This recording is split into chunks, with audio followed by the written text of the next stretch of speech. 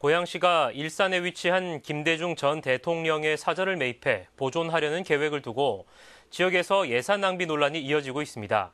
고양시 의회에서도 관련 안건에 대한 찬반 토론이 치열했지만 결국 본회의를 통과하며 사업이 확정됐습니다. 하지만 앞으로도 반대 움직임은 계속될 것으로 보입니다. 보도에 전진아 기자입니다.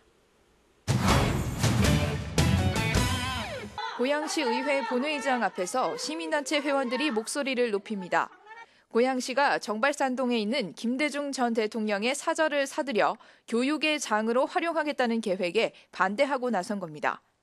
일산연합회 측은 기존 김대중 컨벤션 센터 등 전국의 기념관과 동교동 사저에 더한 또 다른 기념 사업은 명분 없는 혈세 낭비라며 민생 사업에 예산을 사용하라고 반발했습니다. 당시 김대중 대통령이 당선된 후 본인이 직접 매각을 했습니다. 개인에게.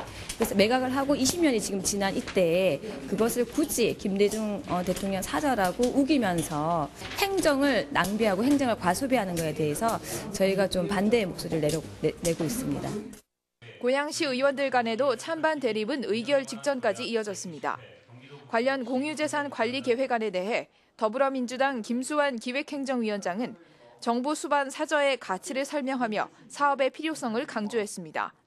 타 지방자치단체에서는 역대 정부 수반 사저의 상징적 가치를 재평가하여 공유재산으로 관리 보존하고 있고 김대중 전 대통령께서 사저에 거주하는 기간 평화통일의 큰 그림을 구상하였던 사저로서의 의미를 부여해 이에 맞선 자유한국당 이홍규 의원은 시민 동의 없는 일방적 사업이라며 예상 매입가 역시 현실에 맞지 않다고 지적했습니다. 1999년에 토지와 건물 포함 매매 가격이 6억 5천여만 원이었는데 20여 년 지난 현재 토지를 제한 건축물만의 가격이 어떻게 7억 4천만 원이 될 수 있단 말입니까? 논란 속에 진행된 표결 결과 재석 의원 33명 가운데 찬성 24표, 반대 8표, 기권 1표로 사업은 최종 확정됐습니다. 고양시는 29억 8,400만 원을 투입해 내년 3월까지 매입을 끝낸 뒤 11월까지 리모델링을 마칠 계획입니다.